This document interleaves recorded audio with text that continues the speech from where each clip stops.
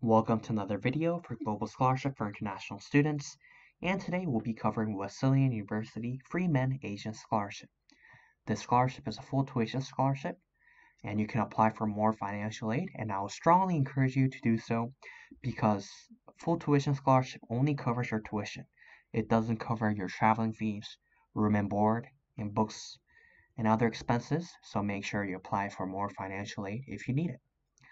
And it only offers scholarship to 11 students. And let's look at the general eligibility requirements.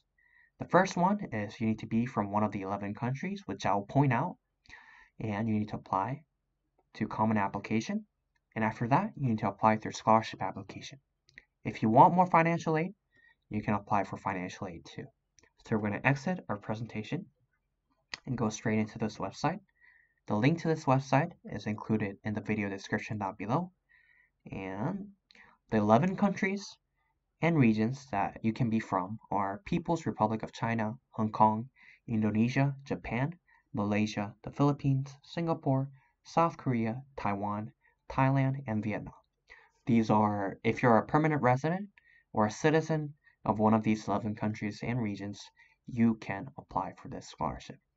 So after meeting the eligibility requirements, um, let's look at the application materials that are required for this scholarship. So materials that need to be submitted to apply for the Freeman Asian Scholarship Program, you need to apply for the Freeman Scholarship Addendum, and you need to apply through Common App. If you don't know how to apply through Common App, you, you can use tips for applying for U.S. universities, undergraduates, and I've included the link to this video as well in the video description. Also, appropriate financial documents, certification of finances or CSS profile, dependent on one of these three scenarios below that applies to you. So, most people choose option one because you don't have money. So, you apply for the addendum, common application, and you apply for more financial aid by meeting all these requirements. So if we look at the scholarship application, it's just filling out your personal information. So if you don't want to pay, pay the application fee, click on no.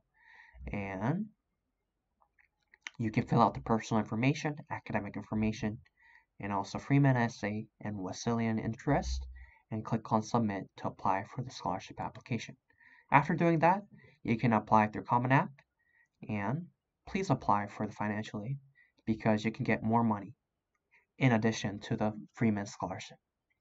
And this is the end, and I hope you enjoyed. And I will see you in the next video.